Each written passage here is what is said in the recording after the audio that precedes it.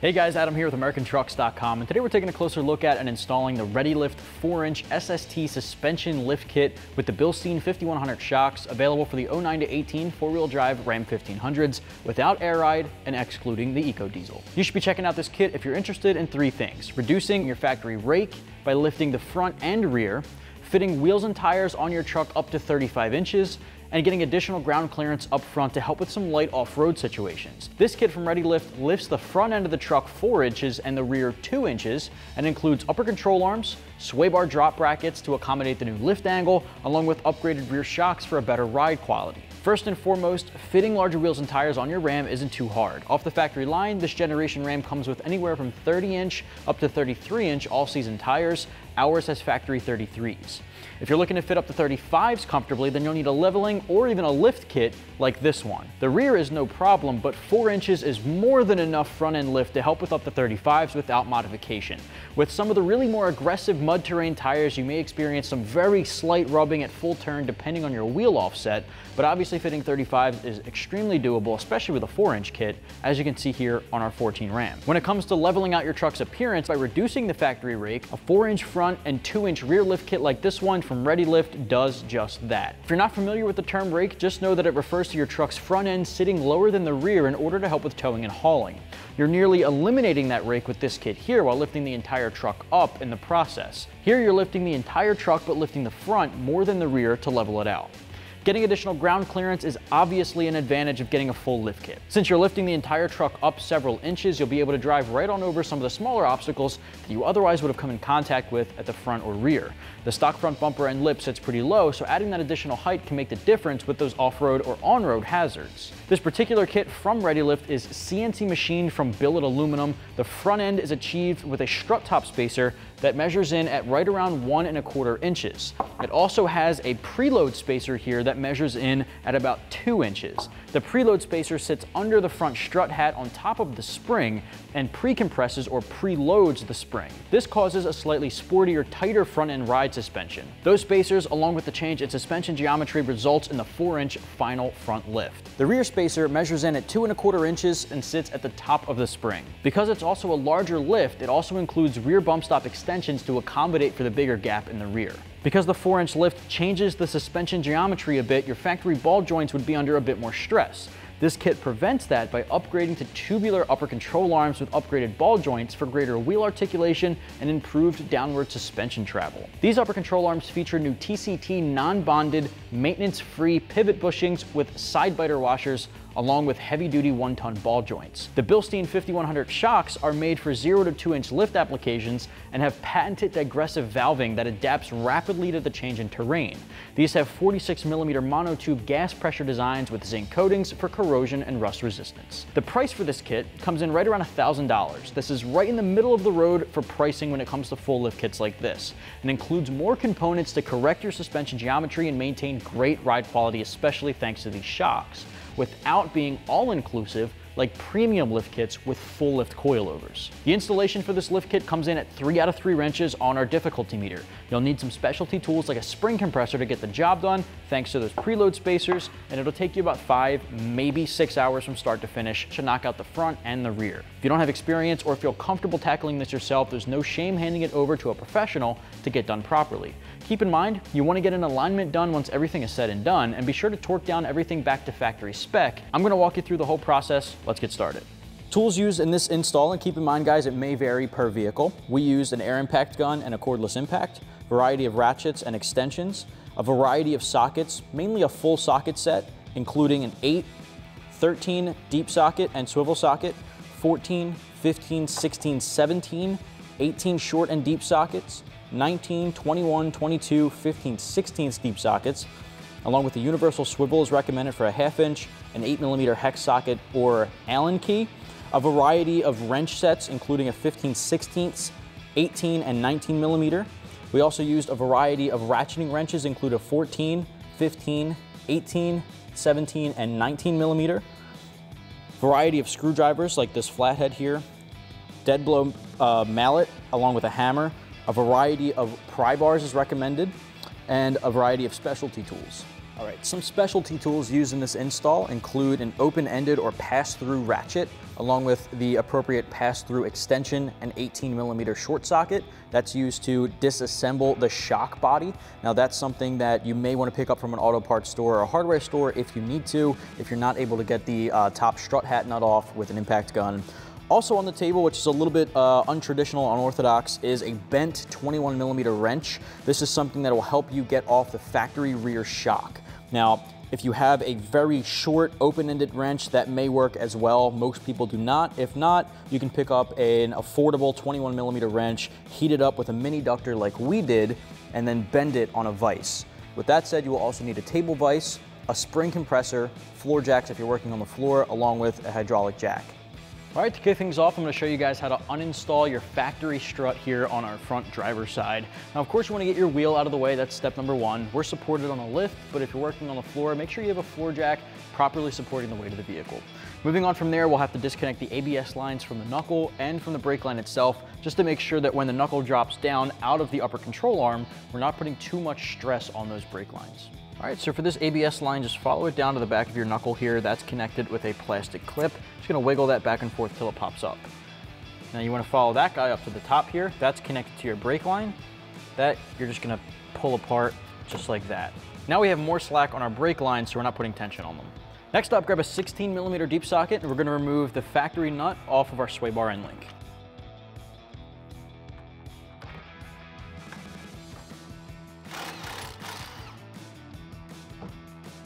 Set that aside. All right, next up, we're gonna disconnect our tie rod end. Now, before we get started, you wanna know that this is a 21 millimeter nut. Now, in some cases, if you use an impact gun on this, the entire stud will spin in that ball joint. You may need a 10 millimeter socket and a 21 millimeter wrench to get the nut off while holding that stud steady. For our first time, I'm gonna use our 21 millimeter deep socket in my air gun to get this guy off.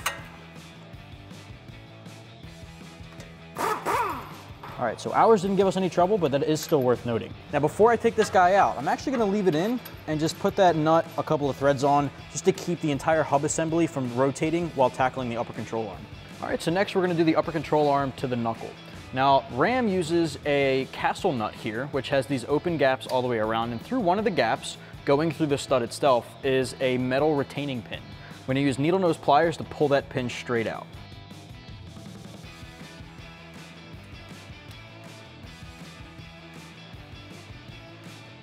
Right, set that aside. Now for this, I'm gonna use an 18 millimeter ratcheting wrench. I highly recommend picking up a set of ratcheting wrenches for this install. There's a lot of different aspects of this that ratcheting wrenches will be a lot easier to use.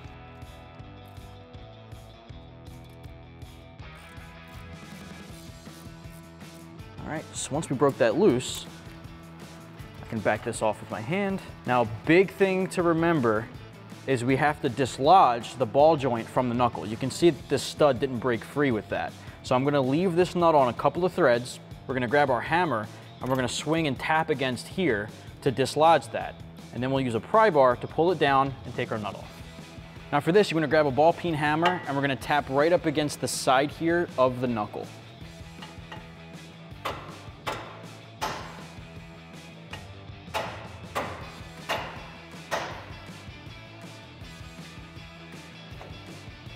All right, with that dislodged, you'll see that the upper control arm moves freely in there. Let's take our nut off. And it comes with that larger spacer. Once you have the castle nut and spacer out, set those aside. All right, so from here we can go back to the tie rod end, take that nut off, lift the tie rod end out. I like to hang it up over that sway bar end link and then put our nut back on the stud just so we don't lose it. Here we can lift the upper control arm out of the knuckle.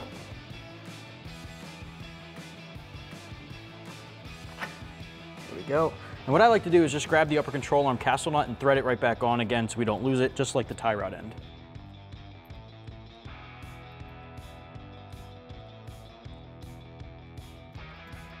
All right, next up we're gonna tackle the bottom strut bolt holding it to the lower control arm. Now the nut here, I'm gonna use a 15 16 deep socket on my impact gun, and I'm gonna use a 21 millimeter wrench to hold the bolt head on the inside.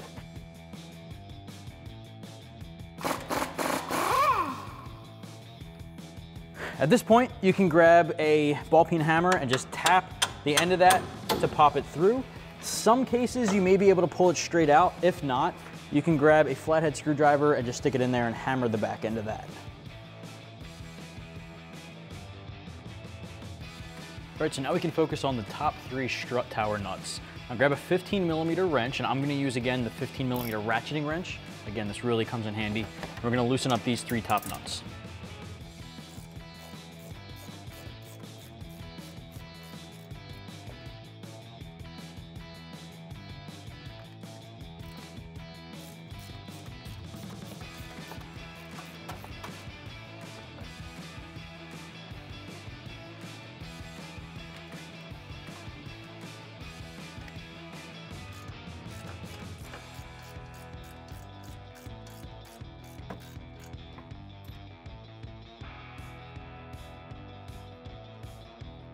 All right, so now our strut is free. I'm gonna use a pry bar here between the lower control arm and the strut body at the bottom to pry this guy out of position.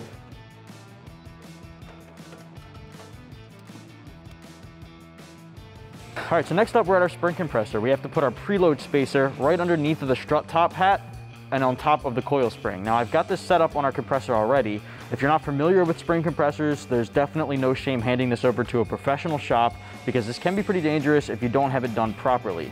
We're basically gonna take the tension off of the bottom spring seat by compressing the spring so that we can take our top hat off. With that spring compressed, we'll be able to loosen up that nut without it bursting off. So you wanna make sure you're exercising extreme caution and then you're gonna start compressing your spring. All right, once you have that spring compressed, and you can see that coming off the bottom there, we can grab our 18 socket and get that nut off the top.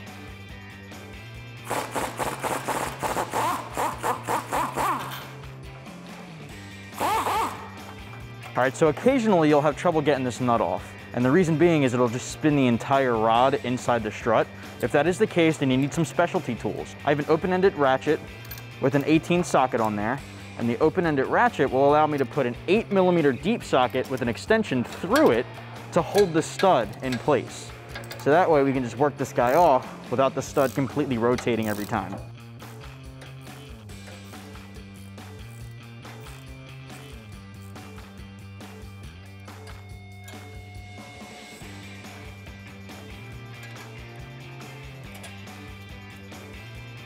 All right, once you have that cracked loose, Bring that strut down and we can start decompressing that spring.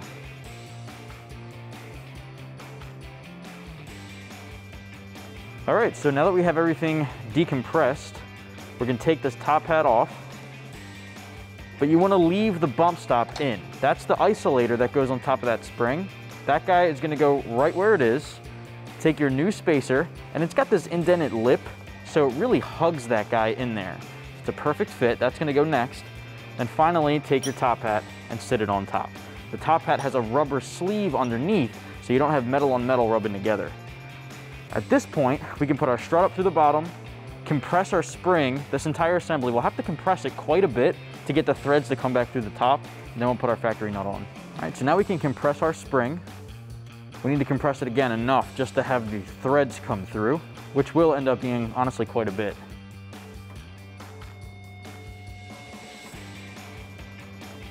All right, so now we can feed our factory strut up through the middle. You wanna make sure it's seating properly on the bottom where that spring is. Make sure it's coming up through the top. Grab that factory nut and thread it back through.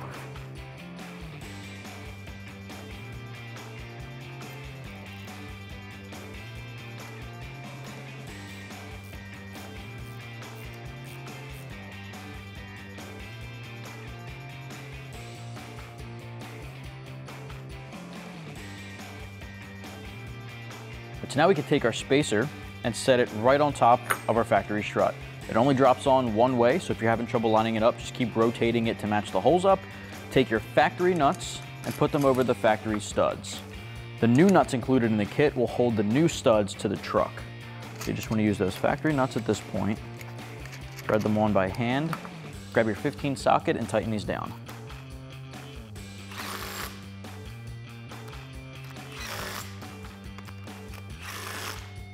Now we can throw the entire strut assembly in the truck. Now we can take our strut assembly, throw this guy back in the vehicle. At this point, we only really need one nut included in the kit just to hold it in place at the top of the strut tower. Just tighten it down by hand. Now we can put everything else back together. All right, now before we put everything back together, it may be helpful to take the top of the sway bar end link nut off along with the bushing and bracket there, or the spacer. We're just gonna set that aside. It'll give us more articulation in the lower control arm. All right, so at this point, I'm just gonna lift that tie rod end out of the way so you can see. We basically need to get this fork on the bottom of the strut over the lower control arm to seat where those open holes are. I recommend using a pry bar. I think it's gonna be one of your easier ways to get this done. You're basically just gonna lift up and pry down so that it seats correctly on the lower control arm.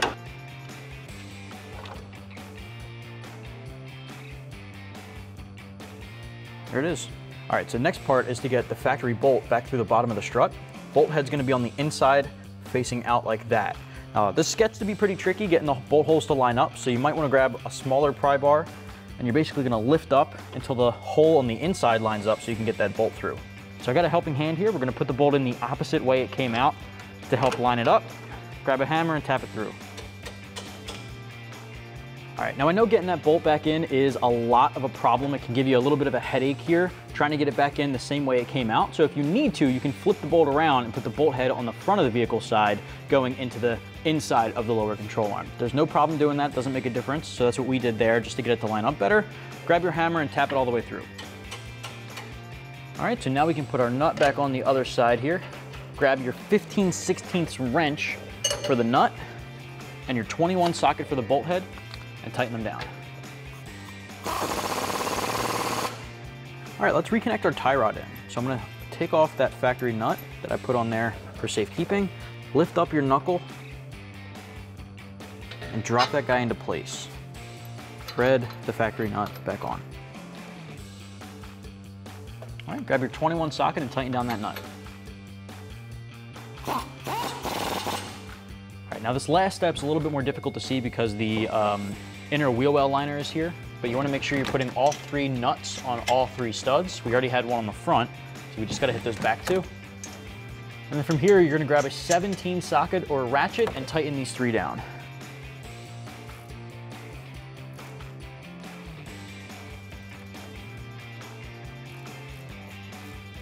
For these, I like to use a ratcheting wrench. I find it to be easier because this one's a little bit longer. I get a little bit more leverage.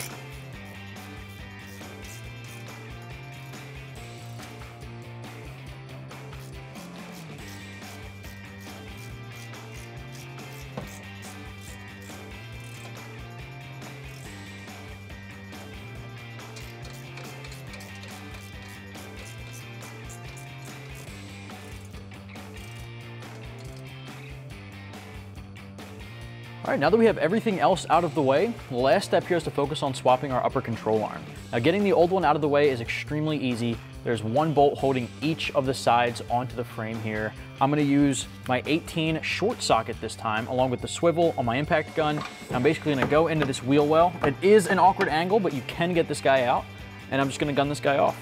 The nut itself has a plate welded to it, so it should catch on the frame, so you don't need a ratchet or a wrench to hold the nut on the other side. There you go. Disconnect that from my gun, pull this guy out. Now this bolt should just slip out. All right, this side's a little bit trickier. You have a couple of wires in the way. I pushed the uh, wheel well liner back in. I'm using the same socket and swivel, but you have to get a little creative how you get that on.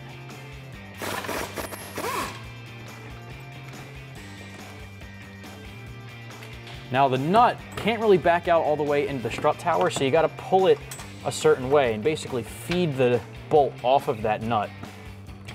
So you can slide that out. Do a little yoga around the wires, pull your upper control arm out.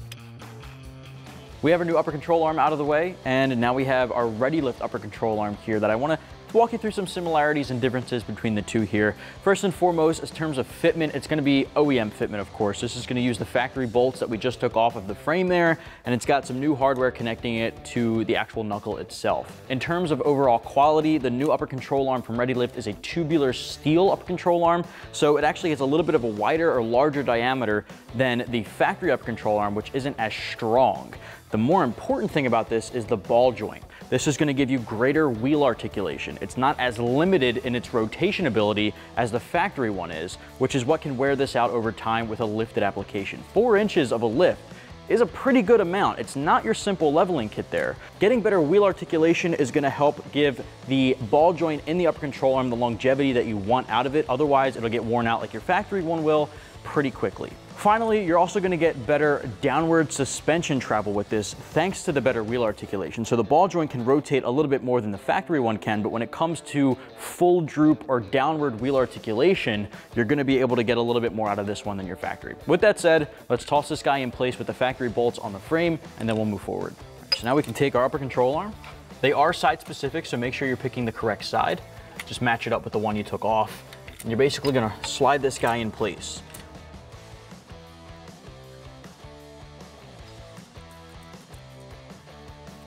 Grab the factory bolt and put it back through.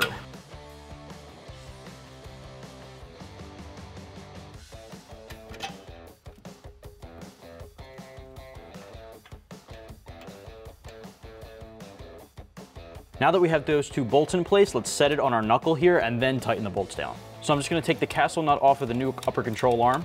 You wanna make sure you have one of those larger spacers included in the kit there as well. Move this into the position set it down. You should be able to pull it down by hand because the two bolts aren't tightened down yet, but if you need to, you can use a pry bar. Put the spacer on, follow it up with the new castle nut. All right, so now we can tighten this guy down and then the top two bolts. Grab your 19 deep socket and tighten this down. I'm gonna use a swivel as well. Now we can take the retainer pin and put it back through the hole there. All right, grab your 18 socket. Again, I'm using a swivel and tighten down the top two upper control arm bolts.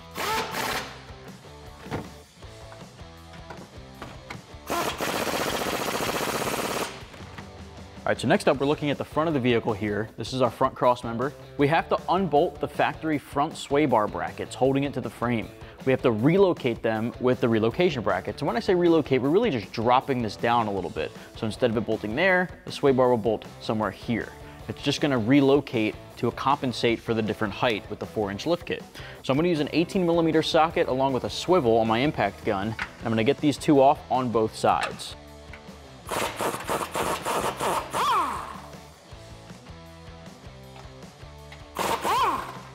Same thing on the other side too.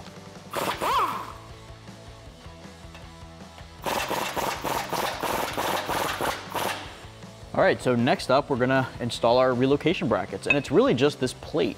Now you'll notice that the plate has two kind of a little bit different sides. One side has these open indented holes, and that's what you want facing you. Put the open indented hole at the top, and we're basically gonna bolt that down to those factory holes that we just took these factory bolts out of, and put it right back through with the factory bolts. Now the idea here is we're basically relocating or just dropping the sway bar down maybe an inch or two so the sway bar bracket will now bolt to the two threaded holes there.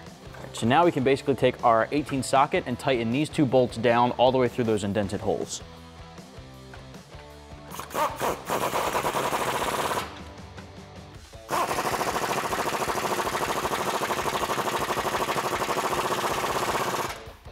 All right, so you just want it to clear so it's completely flush.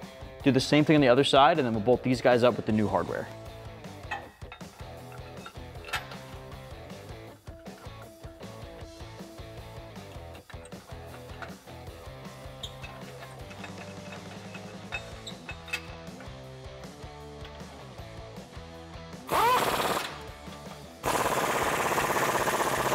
Right, so now we're basically putting the sway bar up into position on the threaded holes on those brackets, the other two holes.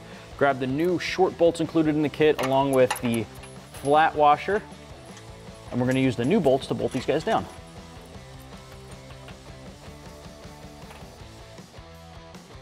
So now we can line up the other side as well.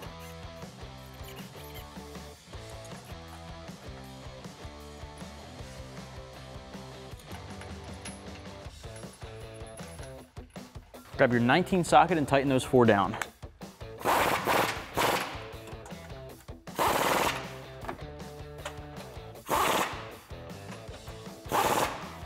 right, to kick off the uninstall in the rear, we've got our ram up in the air, and I have two pole jacks supporting our rear axle. Now, if you're working on the ground, you'll want a hydraulic jack under the pumpkin or the differential, or you can put two hydraulic jacks, one on both sides of the differential. Now that's gonna help support the weight. As we disconnect some suspension components, that's gonna hold that up, and then we'll slowly lower both sides down to release the tension on the spring in order to insert our leveling kit. Now, with that out of the way, I have an 18 millimeter ratcheting wrench, which is gonna go a long way to help us get this off. And I also have a quarter inch ratchet with an eight millimeter socket. I'm gonna first focus on disconnecting our sway bar end link. Now I'm not gonna disconnect the side connecting it to the frame. I'm gonna disconnect the sway bar from the end link. That's an eight millimeter nut. Now, the reason I have both of these in my hand is because once I start loosening this up, the entire stud likes to spin. To get around that, I'm gonna put my 18 millimeter ratcheting wrench on our nut here, and I'm gonna put the eight millimeter socket on the end to hold the stud steady. And then I'm gonna loosen this guy up. That way, stud stays still and we can get the nut off. Keep in mind guys, what you do for one side, you're gonna be doing the exact same thing on the other simultaneously. We're not gonna do everything on one side and then everything on the other. For the rear with a solid rear axle, you're gonna do both sides at the same time.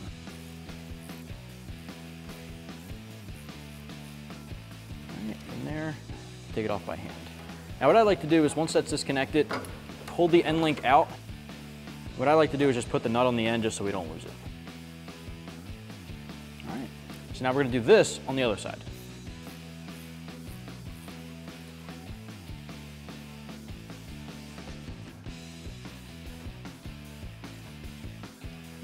And with that other side out of the way, the sway bar is free, you can swing that down. Next up, we're gonna disconnect our panhard bar. Now the panhard bar connects the axle to the frame. So it's connected to the axle on our driver's side and the frame on the passenger. So we only have to do one side. Just gotta get it disconnected from one of the other. So I'm gonna start here. Now this bolt goes all the way through and has a nut on the other side with a tab. So because of that tab, we're not gonna need to hold the nut side. That'll hit the frame and hold itself. So I'm gonna use a 21 millimeter socket to get this guy off. So the nut came off. There we go, and that's free. All right, now on the opposite side of our coil spring is our shock. We need to disconnect the shock from the bottom here where the 21 millimeter bolt goes through. Now I've got a 21 millimeter wrench holding on our nut and my 21 socket on the bolt head side.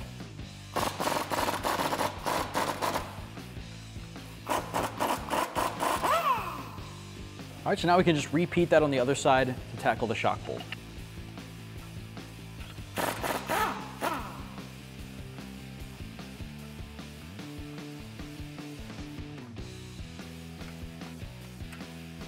All right, at this point, the only thing keeping this axle up right now are these two pole jacks. Now again, if you're working on the ground, you'll have a hydraulic jack most likely. If that is the case, this is the part we're gonna start decompressing. So we're gonna slowly lower these pole jacks down one by one to evenly bring this down and decompress our spring. If you're using that hydraulic jack, don't send it. You wanna make sure you're going very slowly decompressing it. Otherwise, these things can get a little violent shooting out of their spot. So slowly decompress and then we'll pop the spring off. so I do a couple of turns on one side, because now this is uneven. I'll do the other side and kind of bring it down incrementally.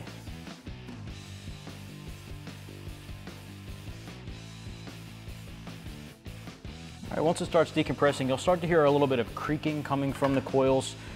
That's letting you know it's close to fully decompressed, and you just saw it fall out. So this guy's completely loose, and we're good to bring her down. Same thing on the other side. Once you can twist it, there's no more pressure or tension on it.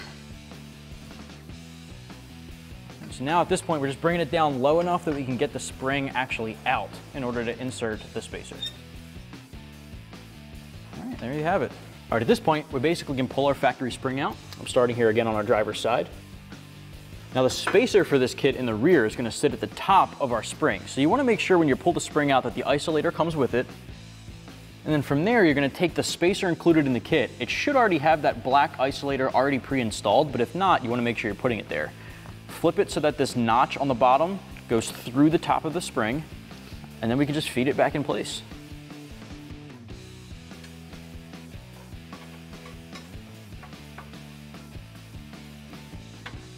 Now you might need a helping hand to pull down on the rear axle assembly so that you can get this in. And if you need to, you can unbolt the brake line from the frame to give yourself a little bit more slack so you're not putting tension on that brake line.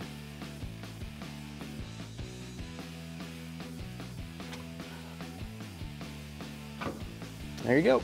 Do that on both sides.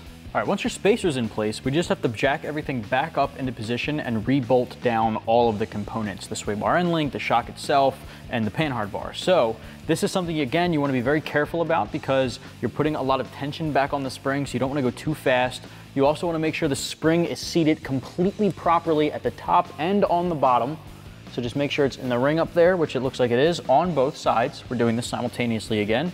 And then start jacking it up until the shock matches up with the, the axle uh, mounting holes. So you just want to make sure you're jacking it up far enough for that to happen.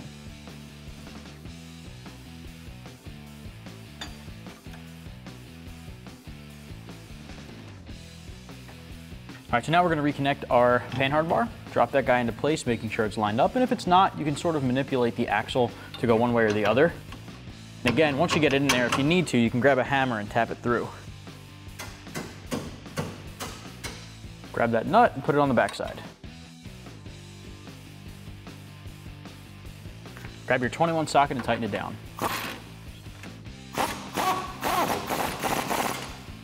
All right, now to remove our factory shock, the top shock bolt is up here behind our wheel well liner. So unfortunately, we are gonna have to get our wheel well liner out of the way. You may be able to get your hand up in here to get that bolt off, but there's not a ton of room to back it out. So just getting the liner out of the way is the best route. I'm gonna grab my impact gun and an eight millimeter socket. I'm gonna remove all of the screws around the wheel well here, and then there's two in the middle, and then we'll be able to pop it off.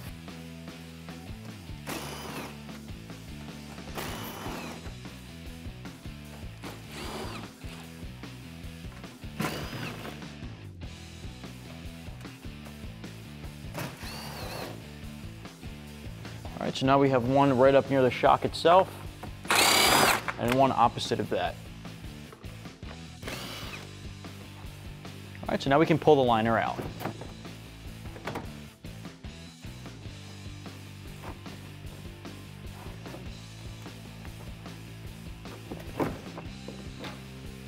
This next step is honestly gonna take a little bit of trial and error. It's gonna be a very specific tool that you're gonna need. I'm gonna call it a specialty tool. Basically getting the factory top shock bolt out is nearly impossible with traditional methods. Uh, the socket, it's just at such a weird angle, you can't really get a socket on it directly. You can try going straight over the gas tank to get it out, but again, with the angle that it's at, you might need a specialty tool. I'm gonna recommend our method, which is a little unconventional, picking up a sacrificial 21 millimeter wrench and then bending it at the open end 90 degrees. So this looks really funky. Obviously this is not a traditional method, but if you bend this guy 90 degrees, you can go right on over and hook right on the nut on the backside and gun it off from the front. Now you can pick up a pretty cheap 21 millimeter wrench uh, at your local auto parts or hardware store. Now in terms of bending it, we use a mini ductor, just put the mini ductor right around it, heat it up till it turns bright red, put it in a vise, and then turn it. And when you turn it 90 degrees, let it cool off, of course, and there you have it. This is a method that a lot of guys are using to get their factory shock off on both the driver and passenger side. Passenger may prove to be a little bit easier because the gas tank's not in the way, but we're on the driver's side here, so what do you say we just get it off?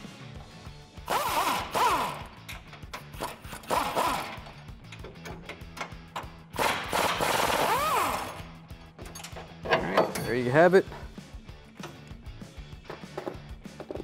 You're gonna need to fish the nut out once you have that disconnected, but once you do, pull the bolt out, shock comes out with it. All right, so we got our factory shock off of the driver's side rear here, and I have it in my hand next to our Bilstein 5100 rear shock series included in your Ready Lift kit. I wanna go through some similarities and differences, and right off the bat, let's talk about appearance. Now, appearance isn't really gonna make a difference to the actual performance, but it's worth noting that there's an obvious visual difference. Your factory shock diameter is a little bit more narrow, not as wide of a diameter as your Bilstein option. The dust boot's a little bit different on your factory shock. It's nice plastic. This has got a rubber accordion style that's gonna help compress easily so it won't crack over time. The new Bilstein 5100 here uses Bilstein's patented digressive valving, which in a nutshell means that this is going to rapidly, almost instantaneously adapt with the compression and rebound to your on or off-road terrain. So if you start going over those heavy terrain bumps, this is going to immediately start compressing and adapting to those situations, but give you a really comfortable drive on-road. So the Bilstein technology in here is definitely something you want for a lifted application that's putting a lot more stress on your suspension components.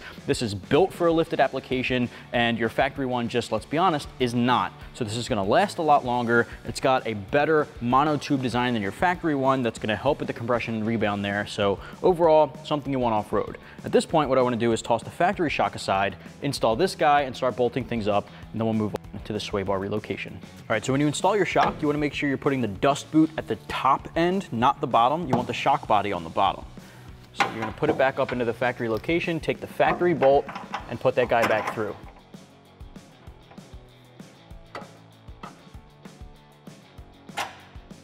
All right, take that factory nut, and I know this is a little bit of a tight squeeze, but you wanna basically hold it in place on the end of the stud, on the end of the bolt, and just twist it so it threads on a little bit. Once you have the nut threaded on the back, grab that bent 21 that we were using, if that's the method you're going with, and tighten down this top bolt.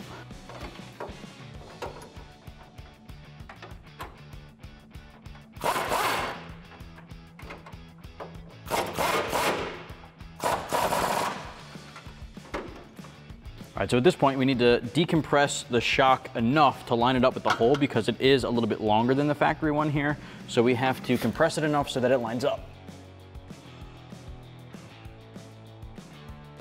Using a pry bar might be the way to go.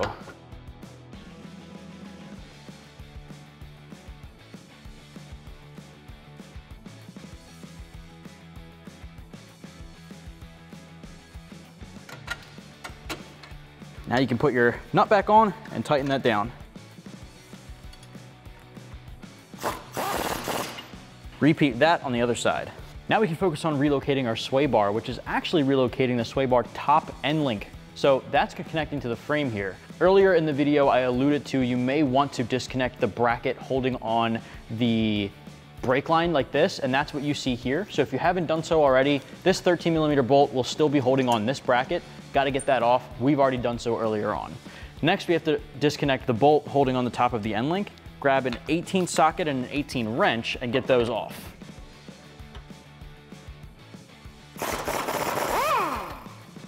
Right, that's pretty simple, comes off just like that. You can just lean this guy back a little bit for now. We're gonna bolt it back up in a minute. Next, you're gonna take the bracket included in the kit, and it's kind of got like a rounded side and a flat side. The flat side is gonna go up inside against the frame like that. This larger hole is gonna go around the welded on nut on the other side of this bolt. So it kind of hooks on and seats itself. Grab the short bolt included in the kit along with a flat washer. You're gonna put that guy through, follow it up with a flat washer on the other side, and the nut.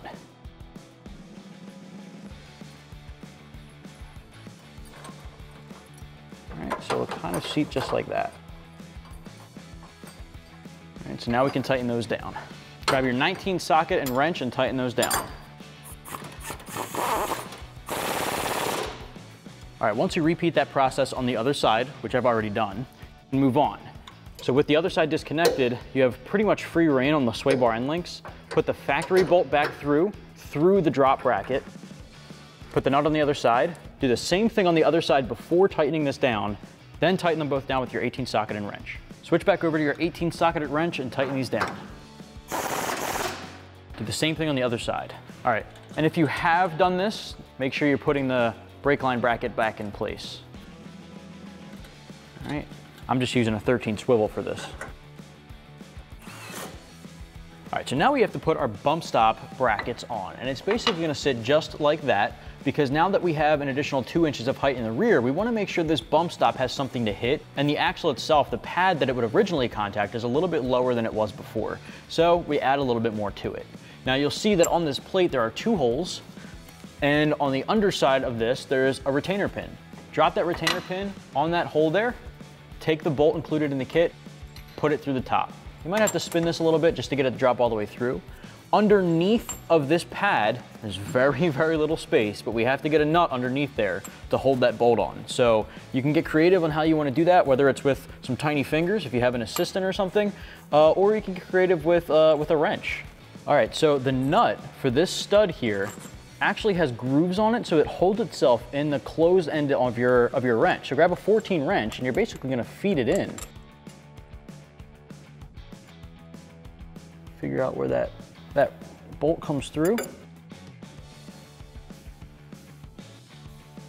And you're basically gonna try to thread this guy on. Grab your 14 socket and tighten this down.